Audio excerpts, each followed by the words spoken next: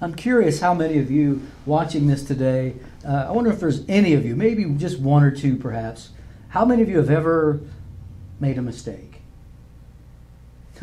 how many of you have ever done something and, and the moment you did it, the moment you said it, you immediately thought, oh, I should, I should not have done that. Oh, I really wish I hadn't said that. Or perhaps you went through an entire season of, what? Why did I do that? Why did I go down that path for so long and make so many bad decisions?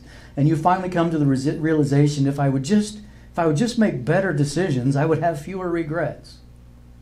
Well, if you've ever felt that way, you're not alone.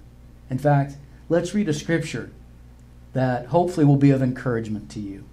This comes from Psalm 32, the first verse tells us this Oh, what joy for those who have never made a mistake in their entire life. They've lived a perfect life, error free. Do you really think that's what it says? No. Let me let's try it again. Here's what it actually says. Oh, what joy for those whose disobedience is forgiven, whose sin is put out of sight. Yes, what joy for those whose record the Lord has cleared of guilt, whose lives are lived in complete honesty.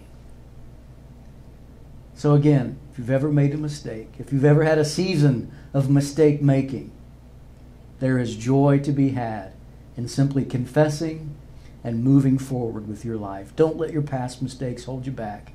Your future can be the best part of your life. Be encouraged.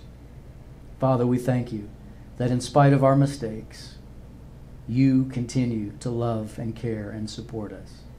You want nothing more than, than for us to learn from our mistakes and keep marching boldly forward. And so we promise to do just that with your strength. Thank you, Father. In Jesus' name, amen. Thanks for watching.